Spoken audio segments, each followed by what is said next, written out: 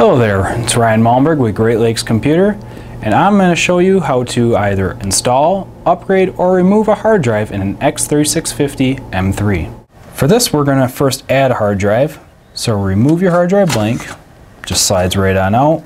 There's a little spot you can pinch to pull it out. Grab your hard drive and on the top here's a little lever, just pull that back and the locking mechanism opens up. Now you install hard drive into the slot, just push it in carefully, and once it's all the way in, lock it into place. To remove the hard drive, if you're going to remove your hard drive, swap out a failed hard drive, upgrade a hard drive, power off your server, after you've deleted your RAID set if need be, otherwise if you're rebuilding, do not delete your RAID set, just swap the hard drive. Pull the locking mechanism back, pull it down, and slide your hard drive out. Very simple procedure, only takes a second to do. Always have your server powered off when you do it.